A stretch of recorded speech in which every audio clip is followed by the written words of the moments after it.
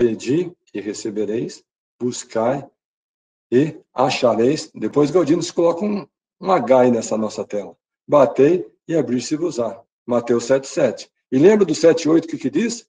E todo aquele que pede, recebe. Todo aquele que busca, encontra. Todo aquele que bate, para ele ser-lhe-á aberto.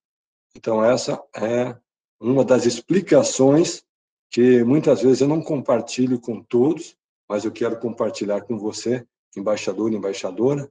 Toda essa história que eu estou relatando para você do zero ao bilhão, ele foi fruto de uma oração. Ele foi fruto de uma busca. Ele foi fruto de uma confiança. Embora eu não soubesse o caminho do sucesso, eu tinha plena convicção que Deus sabia. E eu também entendia, através da fé, que eu podia receber aquela inspiração baseada no conhecimento das próprias Escrituras. Então, quando você tem essa visão, essa compreensão, essa consciência e, ao mesmo tempo, essa determinação de buscar essa inspiração, não importa qual seja a área, não importa qual seja o desafio, a dificuldade, a resposta será garantida. Agora, de vez em quando, gente, eu sou entrevistado por, pelos meios de comunicação desse país.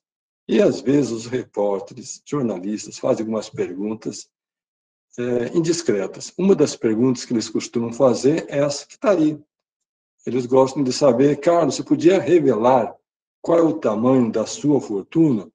Então, gente, é uma, pergunta indiscreta. Você não sai na rua perguntando um para o outro qual é o tamanho da fortuna do indivíduo. Mas sendo que nós estamos aqui num ambiente íntimo, de amigos, um ambiente reservado, gostaria de compartilhar com vocês o tamanho da minha fortuna. Pode ser?